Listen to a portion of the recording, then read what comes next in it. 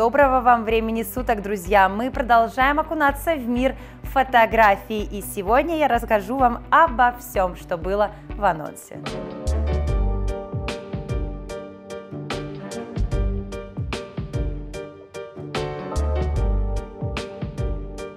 Долгое время бытовало мнение, что фотография – это не искусство, это не творческая настоящая концепция, и для этого даже подобрали целых три аспекта.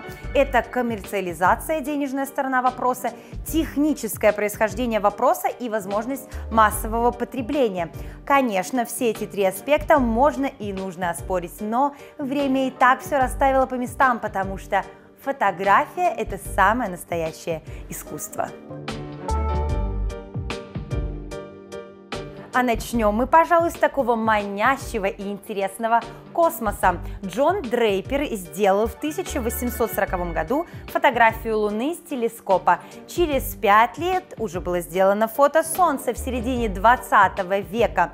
С Луны была запечатлена Земля, и это все были только цветочки. А вишенками станут фотографии нашей Вселенной телескопа Хаббл. Он был создан специально для того, чтобы исследовать нашу огромную необъятную Вселенную. И теперь я предлагаю всем нам отправиться ненадолго в космос.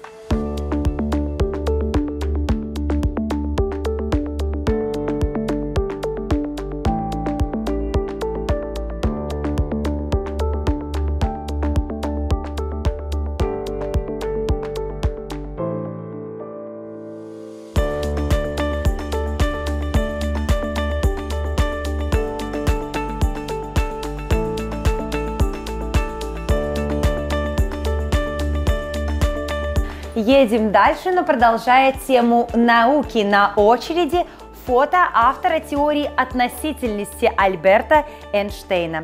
Все произошло в день празднования его 72-летия. Когда он был очень уставшим и уже садился в свой автомобиль, Артур Зазы попросил его еще раз позировать. И тогда он строил вот эту самую гримасу, которая известна на весь мир. В автомобиле с ним сидел его друг и коллега вместе с женой. Но, как вы знаете, лишние люди на этой фотографии не нужны, поэтому в историю вошел именно этот кадр.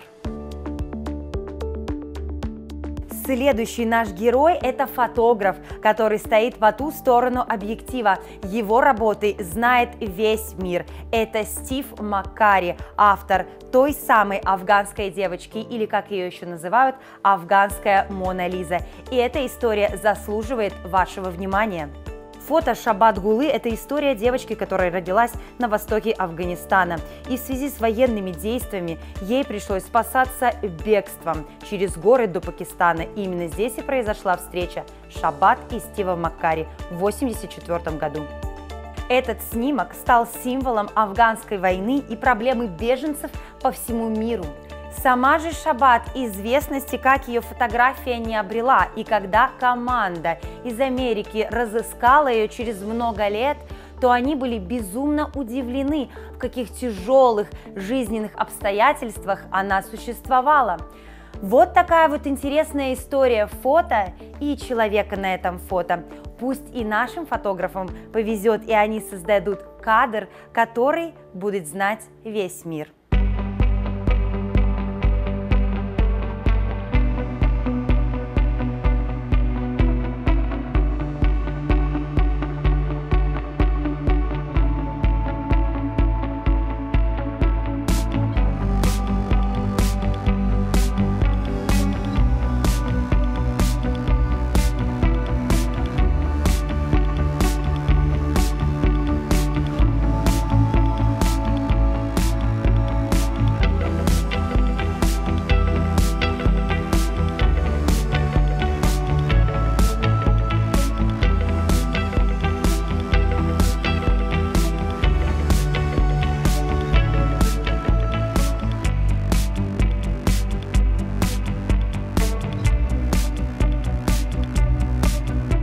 Друзья, до встречи на арт-территории, где я с удовольствием буду расширять границы.